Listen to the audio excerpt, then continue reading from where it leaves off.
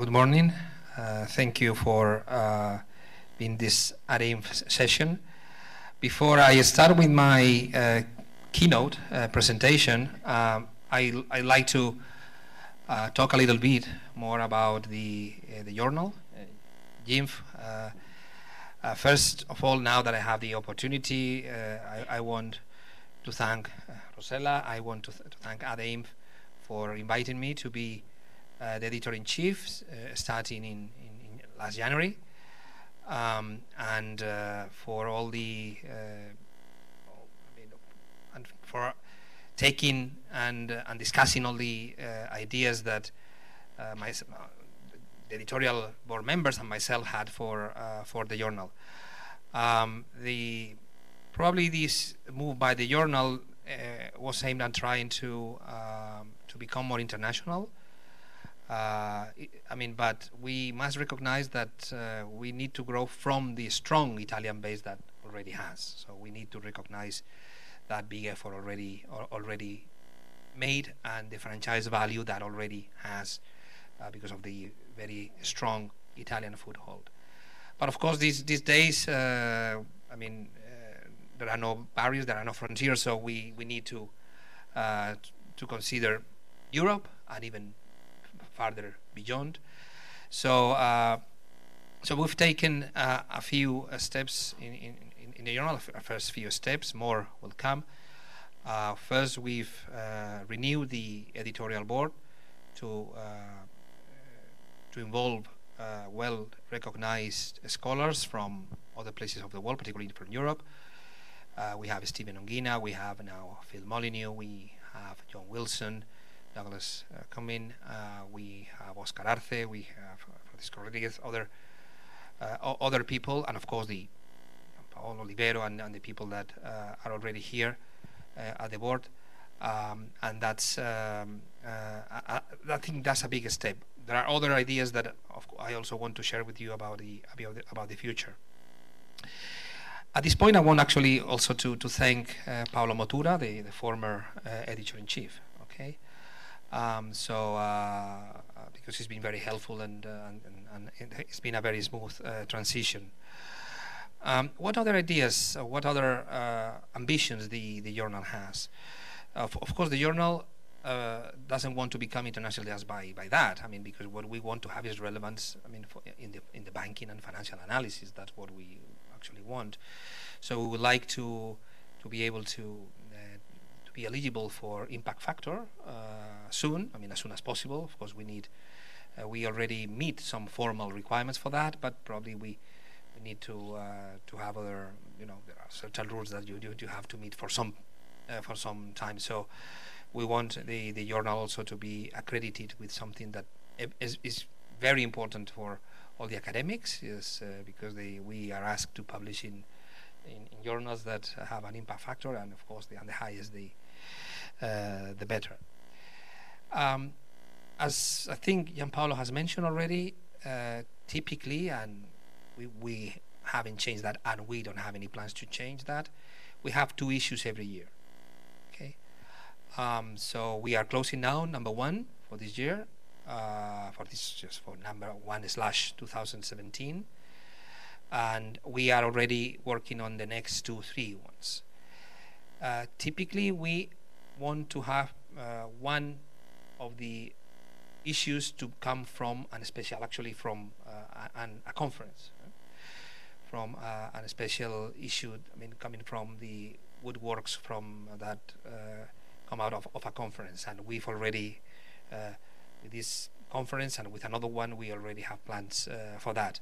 But of course, there is also the any other journal. I mean, you can uh, submit through the uh, we have the, the, the, web and the and the and the platform uh, the submission platform in El Molino and anyway if you Google JFMI you can you can find uh, easily the way to to submit it and so our aim is to improve the quality the standards to meet I mean the top standards as soon as possible okay so that's the idea this takes time. This is not going to happen overnight. Okay, but this is the aim, and uh, I'm sure with your contributions, uh, this could, I mean, this could happen, and the contributions, with, I mean, from these very good, excellent uh, conferences that aim at excellence, that's very important uh, too. Okay. Uh, of course, this is work in progress. Uh, there are more things that probably will will come because this is, I mean, uh, this is changing all the time. So um, you know, it's an open access journal, and so um, I don't know if you want to, to know anything else, but probably it's, it's, time for me to start with the with the keynote. No, and anything you need, please ask because we we will be happy. So I think I should move there. Yeah.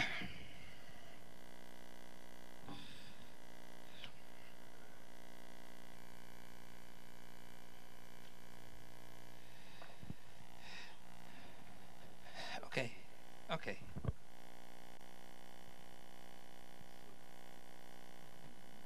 Could you, could you give me the minute? Yeah. I'll try. Sure. No, no, no. Okay. The topic I'm going to to discuss is a topic that I've been working over the last few years uh, and, and, and publishing not so much on fintech but on financial digitalization and payments. Uh, but now, of course, fintech is like uh, a pan word, and everybody's talking about about that. Uh, this is going to be partly academic, but also partly provocative and, uh, and, and, and based on some of the practical issues. So, uh, and, and, and because I think we are experiencing uh, a real, I mean, big wave of change for the banking industry. Um, the banking industry has been declared dead for many times. Okay, I remember 30 years ago when the very strong disintermediation process, uh, the I mean, everybody believed that banks were going to be disintermediated, disintermediated away to death, and it didn't happen. However, this is uh, a bit different. I'm not going to say that they're going, they're, they are going to die or they are going to disappear. But there is something that I, I'm, I'm going to start with that because I think it's a bit provocative. There are very few investors that want to invest in a bank now, or in a financial intermediary. That tells us something. Uh, it may tell us that the return that you can get on the equity of a bank is not as good as you if you invest in any other economic or financial activity. It may tell us that they are so badly or so heavily regulated that the return they get is like a utility. Or it may imply also that investors believe that at least a great deal of the banks or the bank business is going to be replaced by something else, something new. But it's quite difficult to find investors with appetite to buy a bank.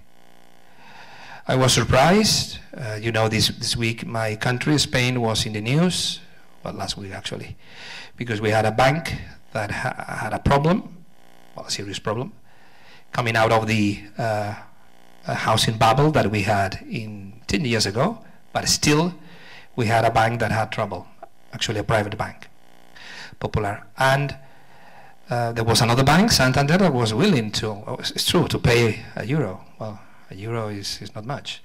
But it has to increase its capital by 7 billion, which is a bit, it's a bit different story. So I was surprised that Santander no, was uh, brave, was like a conquistador in that sense, and they were willing to take that. I say that because one of the some of the most important competitors of banks are the new big technology uh, tech companies. I'm referring to Google, Facebook, Amazon, Microsoft, anyone you want. Apple. They have huge piles of cash. Huge. Between the, among these three, four or five, they can buy the top 30 banks in the world at current market prices. Why don't they? Why don't they enter in a single bank? So that's another provocative idea. I mean, are they going? Do, do, do they believe that they're going to replace all the banks by offering through uh, the smartphone, particular smartphone or the tablet, are they going to? I mean, you know, they are using the data, the big data, in a very useful. Tries to be, yes, provocative, but but I think that th these facts, at least uh, uh, to me, they they are uh, not just a curiosity, something that is difficult to, to explain. So I'm, I'm going to try to uh, to cover three areas. Why does the new economy, called the new economy, like which is mean for financial intermediation? Second is uh, digitalization and banking theory and the new competitive environment. And the last one is the case of payments, okay, which is uh, the, an area I've been working, I mean, a great deal over the last few years, uh, and some of the regulatory challenges and financial stability issues and the conclusions. So what does the new economy mean for financial intermediation? Um, financial institutions, of course, at different levels and depending on uh, how big you are, I mean, how, in how many countries you are, etc. But even if you are in many countries, this is something that is an, uh, something that that is important to tell. 20 years ago, when you were when a bank was doing banking in France and then bought a bank in Mexico, the business model was different.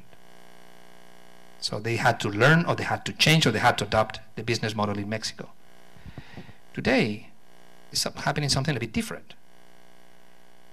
Digital banking is the same here as it is in France, as it is in Spain, in Argentina, or Singapore. Okay, So that's uh, an important aspect of the business and of the competitive uh, environment that we may end up because it's becoming global some of the instruments and some of the apps. So uh, we need to be careful about that. I mean, at some point, when you were expanding into another country, you had to change to, a little bit to the model of that country, but not so much on the digital banking front, because it's basically the same. So financial institutions, banks are facing digitalization as a conundrum. There is a wide range of alternatives that can be chosen as new services uh, or information processing channels. And I think there is, as I mentioned before, a transformation that goes beyond the banking industry and blur its boundaries. It's not new. The change started 30, 40 years ago when with ATMs, with all the automated uh, proce processing or backdoor processes in the, in the, at the banks, etc. But of course now it's been it's speeding up fast. Okay, so uh, it's quite important.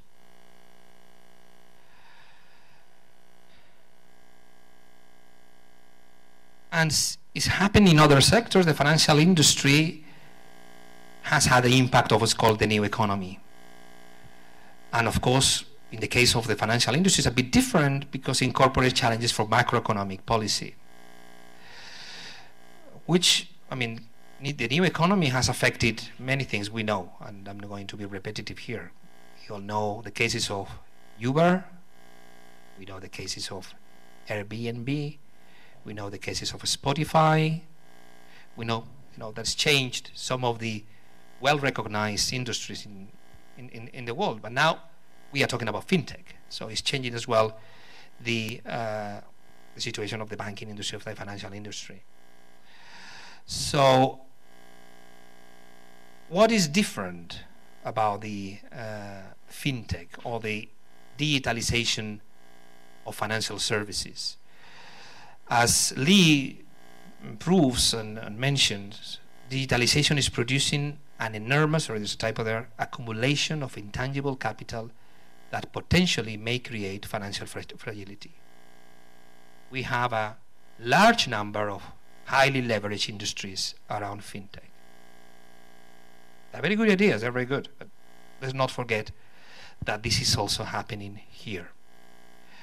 Philippon describes fintech as an industry that covers digital innovations and technology-enabled business model innovations in the banking financial sector. In a way, it can democratize, I mean, I mean, make more democratic, democratize access to financial services, but it also creates significant privacy, regulatory, and law enforcement challenges.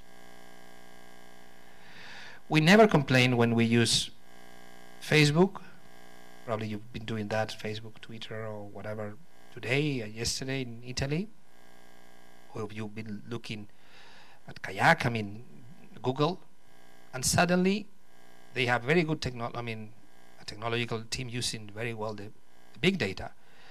You get immediately in the next screen, you get products associated with your last search, with your last, oh, they've detected where you are. Imagine if a bank dares to do, to offer you something based on the private data they have from us. It's true that we click on the cookies and we say, you accept it? Okay, that's, that's true, but, but uh, they are, uh, and that's one of the aspects, they are being much more efficient, productive at gathering and working with the data they get from us. Because of course we have the sensor of the smartphone, we have I mean, so uh, and of our search, etc. But I think that's a very important aspect that may, don't forget that the banks are at the very end uh, information gathering and information exploiting uh, exploiting uh, uh, businesses. Okay, so this new financial intermediation with huge amounts of information processing, big data, and new delivery channels is uh, a large part of the story. Is a business where the distance between households, small firms, and their lenders will be increasing and communicating in more impersonal ways, as predicted by Petersen and Rajan. You don't need to go to the, I mean, next door branch. Okay. And banks will interact with new players from the fintech business in various ways, from first competition in some cases to cooperation. Regulators will then need to check whether regulation offers a level playing field. Okay, Let's move to the digitalization and the banking, the theory, and the new competitive environment. I'm going to refer to actually an old paper, an old paper because it was presented a few days before 9-11, 2001, by DeLong and Summers at the, at the well-known Jackson Hole meetings.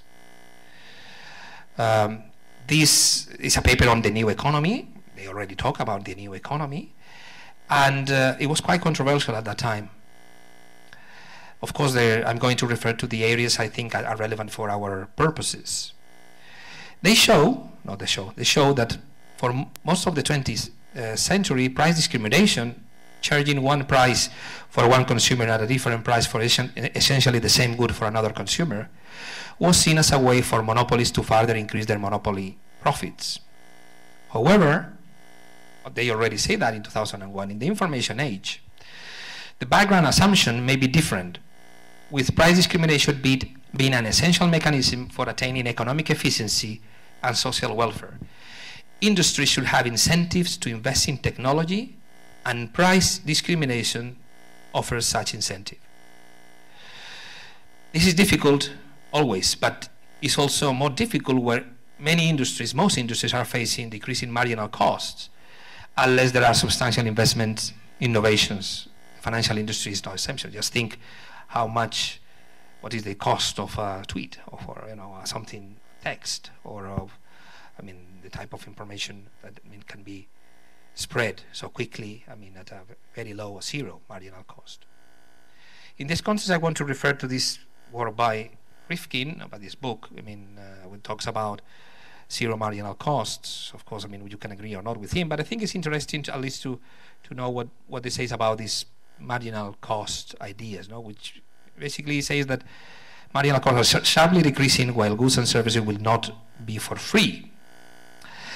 In the classical industrial organization theory, cheaper prices resulting from increased productivity or technological innovations mean more money left over for, consume, for consumers to spend elsewhere, which spurs a fresh round of competition among producers, among sellers.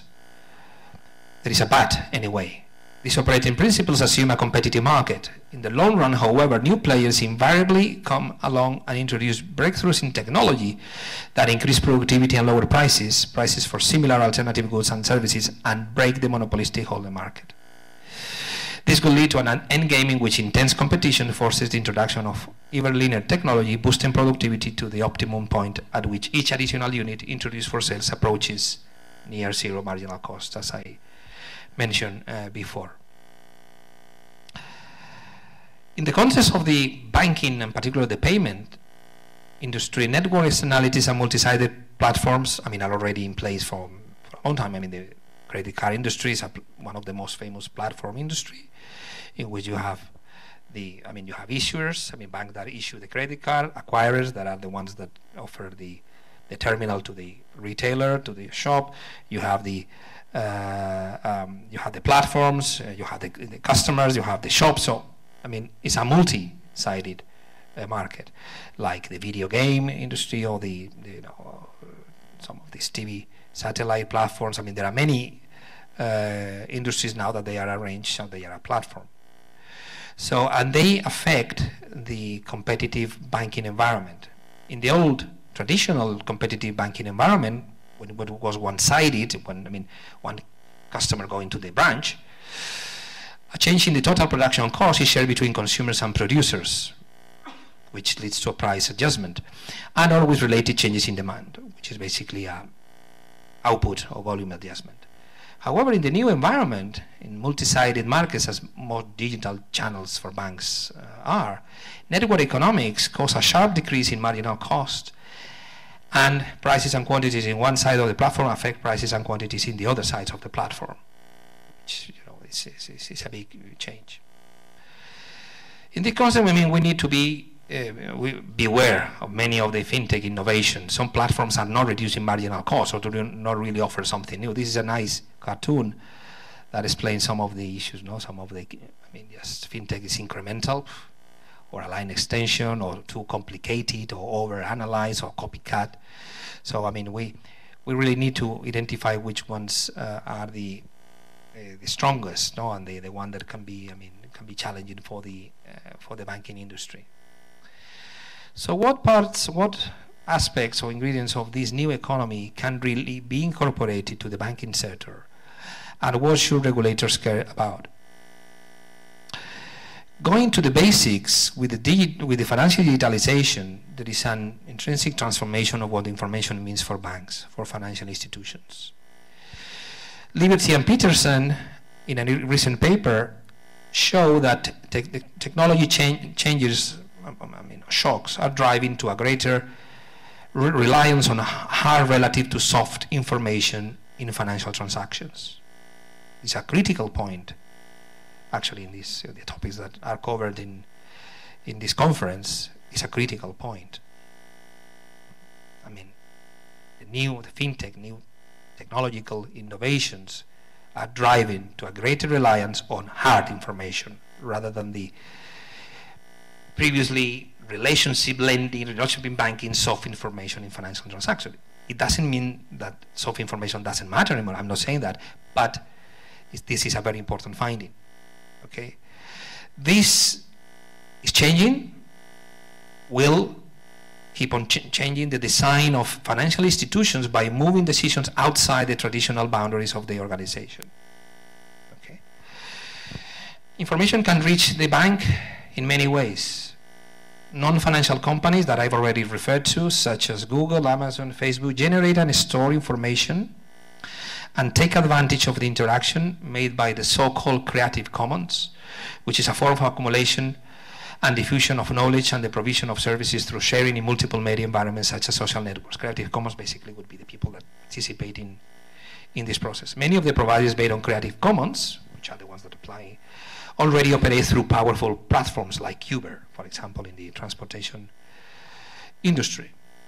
Okay some people argue whether Google would be the next, I mean, will, or Amazon will be the next uh, bank in 30 years. I mean, and they will take, I mean, it will not be that easy because at the very end they, um, they've entering much more clear through the product selling or, you know, fee-based business rather than credit. When we talk about credit, which is not that far from what they do, is when then regulators may say, hey, then you, uh, you you used to look like like a bank, but now you're a bank. So that's uh, that's an important aspect that I will cover later. Banks in this context face important barriers to develop these information technologies. They are not being so good, or free, whatever, compared with Google, Facebook, and Amazon. And why do they have more barriers? Or they because they typically they come from confidentiality and information safety safety.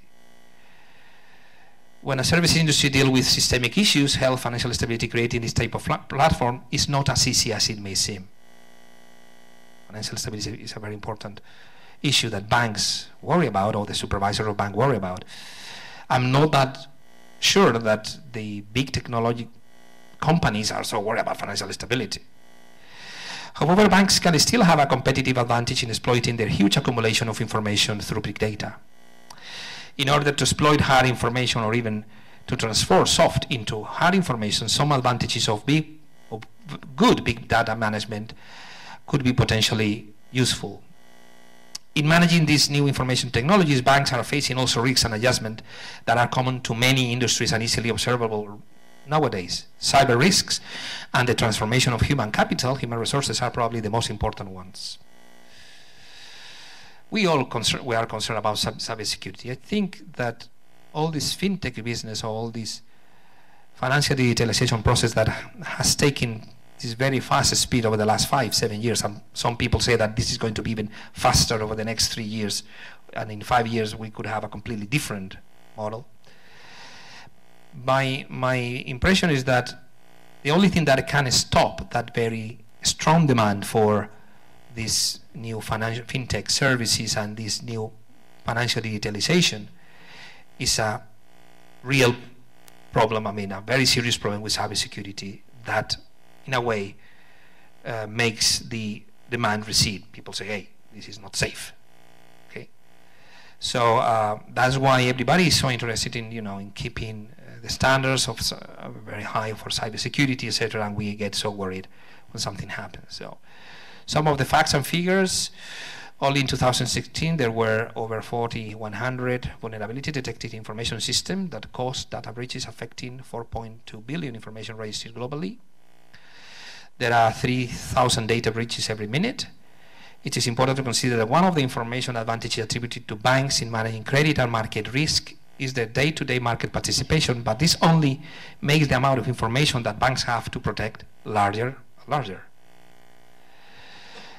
What about the human resources? Because we have, I mean, we'll say we've seen a decline, or I mean, some banks are have decided to uh, convince their, or with, uh, through some arm twisting, um, convince their employees to uh, uh to take early retirement or to leave. But of course, other type of jobs are needed now. Okay, um, as I say, in the case, for example, of the European Union, probably where due to the early overcapacity of the European banking sector, there was a larger need for restructuring. For example, in the in the European Union, um, having cuts in the traditional branch-based jobs by hundreds of thousands since 2008, there have also been new positions generated to face the IT system transformation and the massive amount of regulation coming as a response to the crisis. Uh, I'm sure that regulatory compliance uh, teams are now double or triple what they used to be 10 years ago. Regulatory compliance and technology are the main new two sources of bank employment. The total headcount of jobs of banks on the STOXX Europe 600 Banks Index was over 2 million 362,000 at the end of 2015, only 5.2 less than in 2017, which is a bit larger. What about regulation with the fintech? With the emergence of fintech competitors, there are potentially great benefits to previously underserved segments, and there is a potential for financial inclusion, more competition, which is always healthy, provided we don't lose financial stability, new channels, new options. But it may also uh, involve high costs from destabilization, I mean, for losing the financial stability. This involves a challenge for the, regula for the regulator first and for the supervisor, who is the one implementing the regulation. How to regulate the financial, the fintech industry. Can we consider the case of the cab industry and the dispute with the new providers as a reference? What are, what are the options for Uber? What are the regulatory alternatives for Uber? Ignore them? Strangle them? regulate each innovation according to its preferred specialization. Perhaps the third alternative is the appropriate one in the case of the banking and fintech sector. Regulate activities rather than institutions, functions. That's what banks complain. They are heavily regulated and they see, and or they complain because they see other big corporations that are very close to the type of business that banks do, including some sort of credit, which is basically involving credit risk, and they are not so regulated or they are not regulated at all. So it's important to keep in mind in this context that there are enormous social costs from failure of banking payment system, shadow banking system, or any system that is not properly regulated, any financial credit system that is not properly monitored. Failures of individual components may not be disrupted. Not all the players may need the same regulatory framework to a level playing field. And regulation important for the system protection overall anyway. So we know that this is going is already happening. The Bank for International Settlements has already some uh, drafts about how to intervene and how to regulate, and uh, the European uh, Union, the European Commission, and the national authorities are thinking about what to do. Okay, but still we are in a very early stage. The last part I want to talk is about the, the case of payments regulatory challenges and, and, and the financial stability implications. And is the area where these new competitors have entered to the largest extent. Payment systems are an essential pillar of any financial or economic system and represent one of the largest industries worldwide. This is not surprising considering that there were around half a trillion non-cash payment transactions made last year.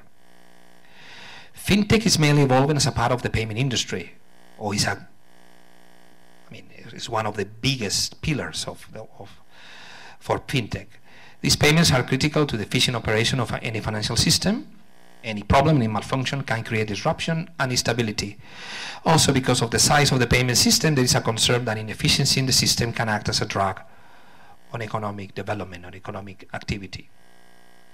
So the payments are critical to the efficient operation of the economic system. Okay.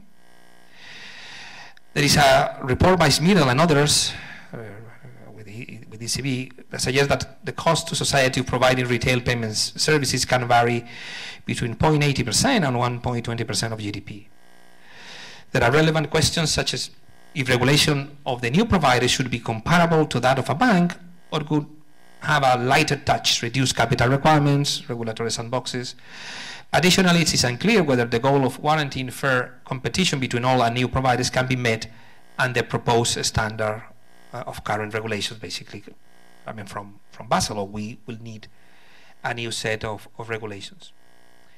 In Europe, the main controversies are around a very strong deregulating and liberalizing directive called PSD2, so-called Second Payment Service Directive. The main challenge seems to be ensuring a level playing field between bank and non-bank providers, as well as an adequate level of control and oversight over them. Dermine says that there is a need to assess the threat posed by digital banking as seen in the context of a long series of innovations in the banking sector that includes telephone banking, payment cards, the development of capital markets, internet, smartphones, and cloud computing. And of course, it raises public policy issues its impact on the profitability and solvency of the traditional financial intermediaries, the protection of borrowers and investors, as we have something similar of the deposit protection, and the systemic importance of the new players, the fintech startups specialized in financial services. Probably you know that the PSD2, this directive, initially pursues a single standard for all providers of payment systems that do not themselves take deposits or issue electronic money The critical question here is how tight this standard is going to be. While PSD2 lays out general principles for equitable access, the implementation of this will ultimately be the responsibility of national regulators. In this transition period, there is, uh, we can ha have some suppliers of these services which are not fully regulated or treated the same way with credit institutions we need to recall that rules for access will determine both the pace of innovation and the ultimate structure of the payments industry. We also need to remind here that firms such again Google, Apple, Facebook, Amazon making use of payment solutions in, as a platform to gain direct uh, customer interface for related products and services have a very important impact. This may imply that legacy financial institutions then might be relegated to serving as the back office to the platform, to these new payment providers. The importance of these questions of access and the rules for, I mean, for it cannot be, you know, ignored, cannot be uh, overstated either. So, conclusion, so I, I will be able to finish more or less on time, around 30, 35 minutes. From an academic perspective, understanding the economics of banking currently today requires a shift from the standard buyer-seller model, the one-side model, of standard industrial organization to models based on network externalities and multi-sided platforms with several related prices and cross-subsidies uh, among different products. Digitalization and fintech, of course, are challenges, but are also an opportunity to reduce marginal costs and increase productivity in the financial services industry. However, there are also financial stability concerns attached to these processes as they imply a massive accumulation of intangible capital which is not always appropriately valued in capital markets. And they also blur the industry boundaries and create significant privacy, regulatory, and law enforcement challenges. Given systemic nat nature of in the financial and payment uh, system, the new activities and players in the financial sector cannot be regulated, under-regulated, or unregulated, or over-regulated or under-regulated the same way that other industries are doing, like the cab industry and social media. One potential solution would be to regulate innovation according to specialization, that is regulating activities rather than the players. Another important challenge for regulators to ensure a level playing field between bank and non-bank providers, as well as an adequate level of control and oversight over them. There have been some regulatory initiatives, PSD2 in Europe in this direction, but they are still far from ensuring that level playing field. Thank you very much.